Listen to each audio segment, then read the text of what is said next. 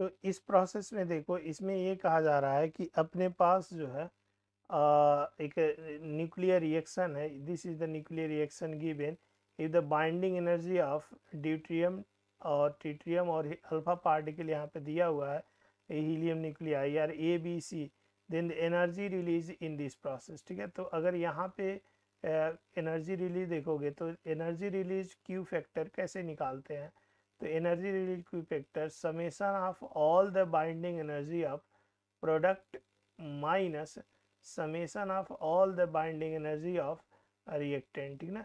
तो यहाँ से binding energy of product binding energy of helium nuclei क्या है? यहाँ पे सी है तो यहाँ पे बाइंडिंग एनर्जी जो है C minus binding energy of reactant इसका कितना है? ए और इसका कितना है? बी तो ए प्लस बी तो this is the A minus और ए माइनस और ए माइनस बी तो इसका मतलब ये हुआ, अपना जो सी ऑप्शन है, वो सही हो जाता है।